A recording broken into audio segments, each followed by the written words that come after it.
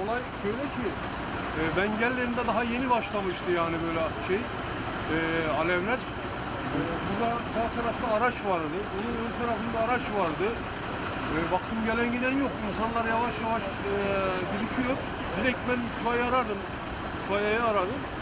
Şimdi buradaki yanmaya başlayınca korktuk. Alt taraftan alev geliyor böyle. Mazot patladı, aşağı doğru iniyor. Yani diğer aracın sahipleri de yok. Bir Allah Allah'tan işte itfaiye yetişti de söndü diğer araçlara zarar vermeden söndürüldü yani olay yani.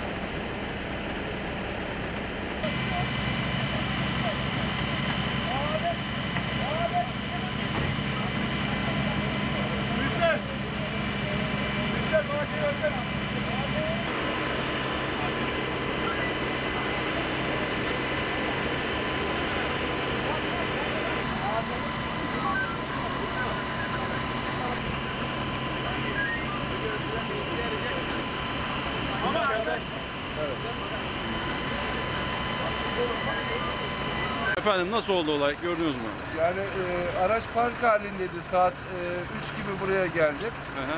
3'ten sonra durduğu yerde kendi kendine alev aldı. A- hatta ben aracımı bile zorla kurtardım orada. Peki araç niye orada efendim? Arıza mı yapmış? Bilginiz var mı? Ondan bir bilgim yok ama park halindeydi araç orada bugün bütün gün boyunca. Anladım. Ne zamandan beri oradaydı? Peki bilginiz var mı? E, yaklaşık saat 1'den sonra oradaydı araç. Bir de buraya park ettiler bıraktılar öyle mi? Evet. İçinde yolcu yoktu. Yolcu yoktu. Kendiliğine alev mi aldı? Kendiliğinden yandı ara- araç. Neresinde başladı efendim yangın? Arka tarafta motor kısmından çıktı alev. Daha sonra yayıldı mı? Yayıldı evet.